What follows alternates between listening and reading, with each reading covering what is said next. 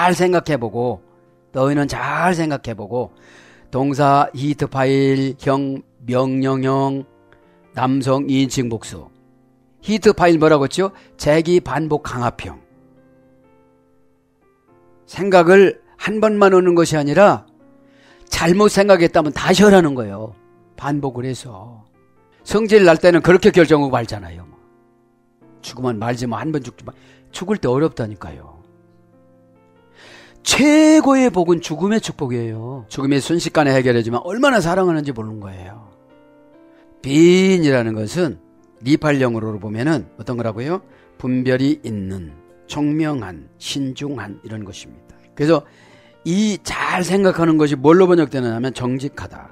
자문서 21장 29절.